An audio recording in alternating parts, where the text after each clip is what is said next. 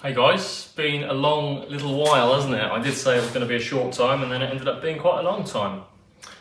Uh, I needed it though. Uh, I'm back, more motivated, got a little bit of spare cash in my pocket to do a couple of bits.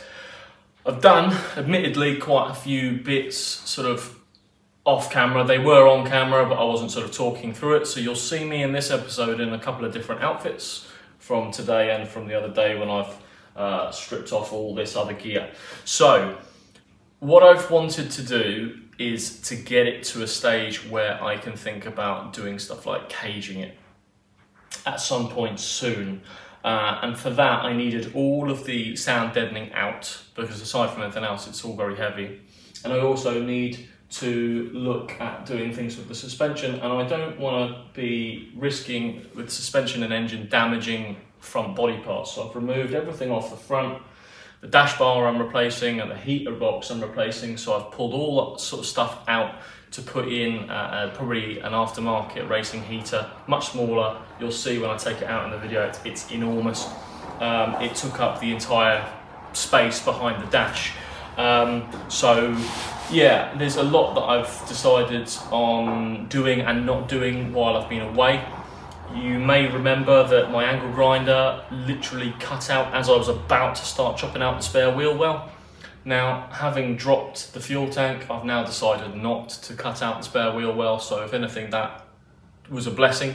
I've decided that the structural rigidity that I am losing uh, does not, it, it, the, the weight that I've lost doesn't outweigh the rigidity that I'm going to lose. Even with a cage, I'm going to lose a lot. I know some of the E36 BMW owners say that you lose 30% of your structural stiffness when you when you pull out the spare wheel well. So why a lot of people don't do it, and if they do it, they they only do it half or whatever. So I'm going to work around that still being in there. The race car still had it in there, so if I'm doing a replica, why would I take it out? Anyway, I'm yakking on. Uh, so yeah, this is basically not going to be me doing much in the way of uh, how-tos or anything like that. This is a, I've done some stuff and I filmed it. So yeah, enjoy.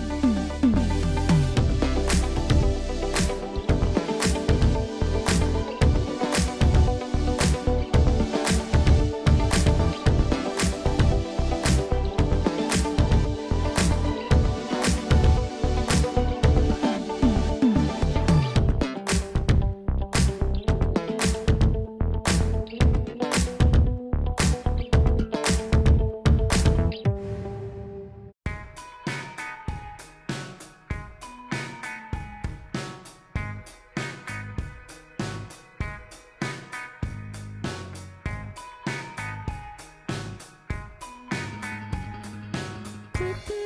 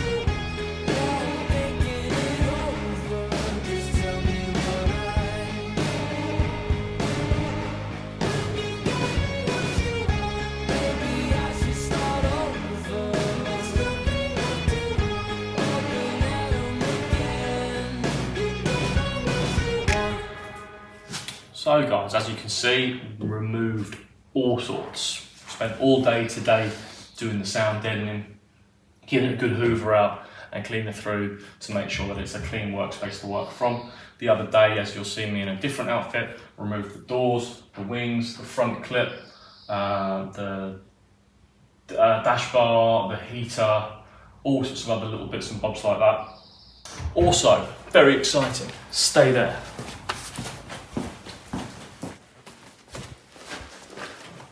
For staying there. Right. Emil Ellis has decided that he's not going to do coilovers on the front using the ones that he had already bought. Uh, this is all very exciting. Do, do, do,